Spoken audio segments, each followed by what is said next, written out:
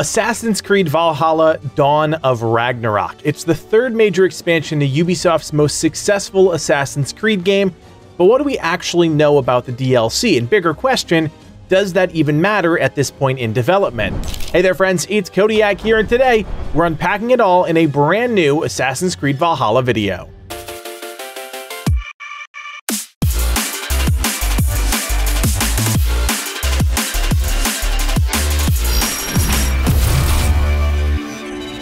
So by now you're probably aware there is a huge new Assassin's Creed Valhalla DLC coming out on March 10th, 2022. Dawn of Ragnarok is a brand new standalone DLC that's got a pretty hefty price tag, $40. But with that price comes a rather large chunk of new content, the largest introduced into Valhalla by far. According to multiple sources that took part in a Ubisoft preview event, the Dawn of Ragnarok content is said to be around 40 to 50 hours long. Now, take that with a grain of salt. We all know that the numbers there are taking into account all of the open world stuff players can do in the game, whether it be collecting flying papers or tracking down loot. It's not a bad thing. There are plenty of people that enjoy that aspect of the game. There's also a healthy chunk of folks, myself included, who are just done with that aspect of Valhalla. That being said, if you're someone that likes the main story aspect of Assassin's Creed, well, I think this is so wildly different that it's going to bring a ton of new attention to the game and possibly entice players enough to reinstall and jump back into Valhalla. Now, before we get into my own opinions on this, I do want to talk about some of the things we do know about the game. First up is the team behind Dawn of Ragnarok, Ubisoft Sofia. These are the developers that put together Assassin's Creed Rogue and the Curse of the Pharaohs DLC for Assassin's Creed Origins. In terms of story, well, as you know, we're going back to play as the Allfather, also called Havi, also known as Odin. The focus of Dawn of Ragnarok is entirely on Odin and is set after the events of the Asgard and Jotunheim arcs found in the main campaign. Players will be entering the dwarf realm of Svartalfheim as they try and track down Baldur, Odin's son, who's being held captive by the fire giant Surtur. What's pretty neat is that Ubisoft is using the hostage situation to bring together multiple realms. The fire realm of Muspelheim and the icy realms of Jotunheim have both invaded Svartalfheim, which means enemies of ice and fire will be an ever-present threat within the world. To be clear, I don't think this really changes anything at a foundational level. You'll still be maneuvering across an open world, patrolled by enemies, but this time around, things are going to have a completely different aesthetic than we're used to in Assassin's Creed Valhalla. According to Mikhail Lozanov, the creative director at Ubisoft Sofia, Svartalfheim is where all of the famous magic weapons and artifacts have come from, and this beautiful and surreal world is torn apart by war. My biggest complaint about all of the Asgard content within the base game was that there was no physical rewards for engaging with that story. So if we are in the land of magical items, I hope there will be a number of new armor sets and weapons players will be able to find. I think that's the case as a number of leaks have already confirmed such things, but as I've said in other videos, I'm pretty much done with the whole leak thing for this game. I just want to enjoy Assassin's Creed Valhalla, not ruin it for myself and for you all months in advance.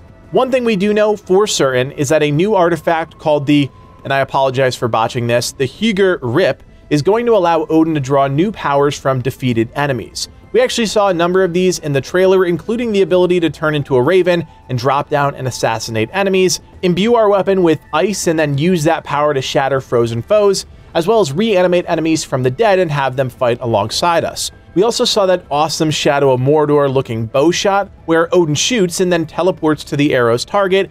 That one really won me over and will probably be one of my go-to powers. According to the website, it also looks like we'll be able to use some sort of illusion power to turn ourselves into a Muspel and walk among the enemy, while also being immune to fire and magma. So on top of our standard melee and ranged mechanics, we'll have these new Hugr Rip abilities that we can activate two at any one time. It also seems to have a pretty straightforward energy system where you restore the resource by draining the energy from defeated enemies. You can also find giant flowers called Hugr Blooms, which restore that energy or sacrifice some of your health at a special shrine. It's a pretty cool new feature. More abilities means more options for players, and I am always in favor of giving the player more tools to take on the world however they see fit. The final chunk of new information has to do with a battle arena that will be coming to the game. According to the website, a new arena run by the Valkyrie will allow players to take part in combat trials with the option of boasting, increasing the arena's difficulty for added rewards. I mean, yeah, arenas are cool, and having the chance to see more enemies from the different Nine Realms, I think fits nicely with the theme of this DLC. At the end of the day, it's most likely going to be a way to get some sort of mystical armor sets and weapons, and I'm all about that. Look, I think the bottom line is this. We're going back to the Nine Realms in some capacity and dedicating an entire expansion to that idea. And while it's definitely not a traditional Assassin's Creed game in the literal sense, it's something many players wanted to see more of in Assassin's Creed Valhalla. It really comes down to the aesthetic and the story. Do you want to engage with a more mystical fantasy arm of the game, or are you just happy sticking with the content based more in reality, or just ignoring it completely? So that's all of the new stuff confirmed in the trailer or on the website, but I wanted to talk to you guys candidly about my actual thoughts on a massive new Nine Realms DLC. First off, I'm not a huge fan of that price tag. $40 is a lot for a game that's a few years old at that point and has already collected multiple hundreds of dollars from individual players. That being said, I realize that to develop games you need money, but that doesn't really stop me from being lukewarm on the entire idea.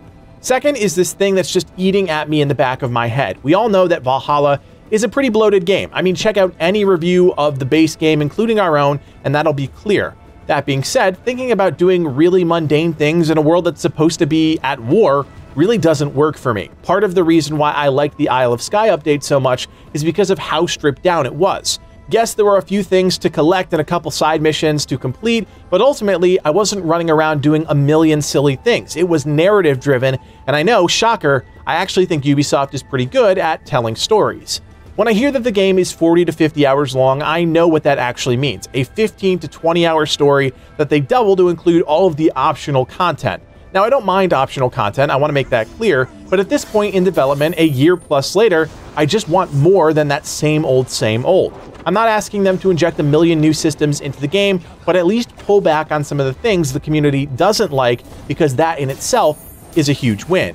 I do think that with a wildly different setting, there is the opportunity to do something different and subvert expectations. It's a completely different studio creating this content, and while they need to work within the confines of the Valhalla base game, if they manage to change up some of the elements in new and interesting ways, that would be huge. We've got the new artifact abilities, which sound awesome, but they're still a means to an end. You've got this awesome new setting, a new dynamic in the world, and if I end up running across lava pillars chasing papers just to unlock a new tattoo, I'm not gonna lie, I'm gonna be pretty bummed. Dawn of Ragnarok is taking Assassin's Creed Valhalla in a different direction. No one can deny that. But is it the right direction? Comment down below and let me know what you think about the newly revealed DLC. Will you be paying the high price for a mystical experience? Will other games like Elden Ring be taking up all your time come March? As always, friends, thank you so much for checking out this video. I know a year later and we're still talking about Assassin's Creed Valhalla, so if you appreciate our content, we would appreciate your support. Hit that thumbs up and consider subscribing for more videos covering some of the biggest games coming out. We also invite you to join us on Discord. We've got a great group of around 7,000 members with a special section dedicated to Assassin's Creed, so check out the link below to join today. Finally, if you like everything we're doing here at Legacy Gaming and you want to support us even more, you can do so by becoming a member. For just a couple bucks, you're helping evolve the channel and take our community to that next level. Check out the join button below to learn more. My name is Codiak, and from everyone here at Legacy Gaming, thanks for watching and play on.